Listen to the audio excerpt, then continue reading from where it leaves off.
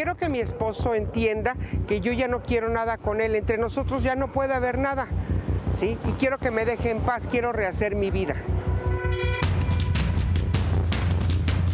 Yo ya me cansé de mi marido, no quiero que me esté molestando, yo ya no confío en él, no quiero nada con él, quiero que me deje hacer mi vida en paz.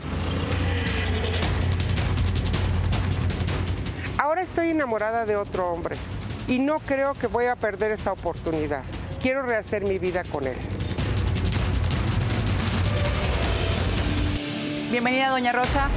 Gracias. Le presento a Iván Benítez, nuestro psicólogo, y a Mario Herrera, nuestro abogado. Por supuesto que eh, a sus órdenes, todos Gracias. nosotros, comprometidos con eh, poder ayudarle, poder sumar y poder resolver esta situación que yo sé que la tiene agobiada. Terrible. Sí. ¿Está sufriendo por amor? Sí, mucho.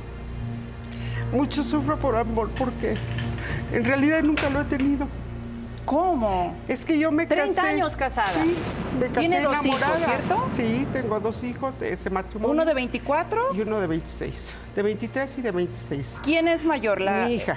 La nena, Sí. Abigail. Mi hija es mayor y yo me casé muy enamorada. Ajá. Sí. Pues como la gran mayoría o todos, digamos. ¿no? Creyendo, como en mi casa me hicieron creer que el matrimonio era para toda la vida. Sí. Pero no fue así. Resulta que al poco tiempo mi marido pues empezó a, a beber. Los fines de semana se iba de fiesta. O sea, al poco tiempo de casados. de casados, sí. ¿Ya habían nacido los Ya, niños? ya habían nacido mis hijos y, y, pues fueron a lo mejor quizá unos 7, 8 años. De felicidad. Sí, de felicidad. Ajá. Porque ¿Qué usted es la decía? verdad. Aquí me O quedé. sea, mi no hay ningún mi problema. sueño. Sí. Ajá. Pero entonces resulta que no. Empecé a notar que él ya cada fin de semana se iba a, a- pues de parranda y regresaba borracho. Desgraciadamente, cuando yo le preguntaba el por qué, siempre me humillaba, sí, siempre me insultaba. ¿Golpes? No, no, nunca, nunca, nunca me dio un golpe. Exactamente el día que yo estaba velando a mi mamá, me habla su amante para decirme que tiene 10 años de relación con él y tiene dos hijos. Encima el tino, ¿no? O sea, como si hubiera escogido el día. El día exactamente. Yo de ahí sí desarrollé una depresión tremenda. Ya o no sea, que ni siquiera nada. despedir en paz a su mamá. No, no, no, no, no, pues ya que dolor. Ese mismo día en la noche le reclamé y me pidió mil de mil amores perdón y quería todo conmigo y ya no lo iba a volver a hacer y, y- y se alejó de ella. Rosa, ¿dónde estaba él en ese entonces? Estaba en el velorio. En el velorio ¿Puedo conmigo. hablarte de tú? Sí, claro que Es- sí. Eres muy joven. Me- te voy a hablar de tú, si me lo permites. Sí, claro. ¿Estaba en el velorio contigo o estaba con la amante? No, no, no, estaba en el en velorio, el velorio conmigo contigo cuando, me habló la te llama el amante. O sea, entonces ha de haber sido una reacción de para que se entere, ya que no está conmigo, pues para que se entere de una vez. Poco antes de que me hablara a mí, ella habló por teléfono, Ajá. sí, y me pidió hablar con él, que le hablaba de la empresa donde trabajaba. A tu teléfono. a mi teléfono. Entonces yo se lo comuniqué y, y escuché que peleaban, pero hasta ahí. Pero cuando Pero colgaron, por enseguidita me, me llamó otra vez ella y fue cuando me dijo que debía de enterarme que él tenía 10 años de relación con ella y ¿Le tenía dos creíste? hijos. ¿Le creíste o, dijiste, es alguna loca o no puede ser? No, porque la, la discusión que tuvieron poquito antes se oía así como de mucha confianza. Mm. Y no te voy a volver a ver. y- Entonces yo me esperé hasta que pasó todo lo de mi mamá y en la noche hablé con él. Sí.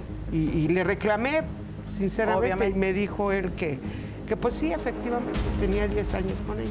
El Y mismo tiempo que a mí Uno me de 10 hizo- y otra de 8, ¿no? Sí, pero al mismo tiempo que a mí me hizo súper infeliz, porque todo lo venía a desquitar conmigo.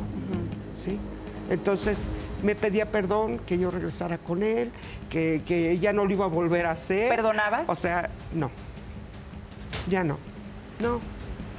O sea, No, es que me encanta tu, Era mucho tu aguantar. sinceridad. O sea, vaya, es puro lo que siente y va. Pues es como- que es la verdad, o Es sea, que no así hay que hablar y así hay, que, y así hay que hacerlo. ya no. O sea, le dije, no, ¿sabes qué? Ya no, ya no. Siguió molestándome que, que regresáramos. No, ya no. Lo que hice fue que caí en depresión. Ese fue mi problema. Seis meses estuve metida en una recámara sin querer saber nada de la vida hasta que abrí los ojos y me puse a trabajar. ¿Qué te hizo abrir los ojos? Y además, ¿qué te hizo tomar la decisión de ponerte a trabajar? Porque tengo entendido que él jamás te permitió ni siquiera salir a la calle para nada. trabajar ni nada. ¿Nos lo cuentas después, después de la pausa no comercial? Sí. Para que no lo cachara. Exactamente. O para que simplemente, como puede ocurrir en algunos casos, algunos caballeros, algunos señores, lo que quieren es evitar que las señoras sean independientes, se empoderen, tengan sus propios recursos para, llegado el momento, si llegara a suceder, pues ellas puedan tomar una decisión men- que las pueda frenar menos, ¿no? Pero Claro. bueno, regreso después, después también para este, consultar a, a nuestro querido Mario Iván, ¿no? Para ver qué, qué es lo que piensan acerca de esto. Y usted, público, ¿qué opina acerca de estas historias? ¿Dónde las ha escuchado o cómo las ha inclusive vivido? Ahora, si las ha vivido, ¿cómo las ha resuelto? Después de la pausa comercial, y aquí está su código QR, por supuesto, regreso con este tema que está por demás interesante y bastante común, ¿no? Regreso, no se vaya.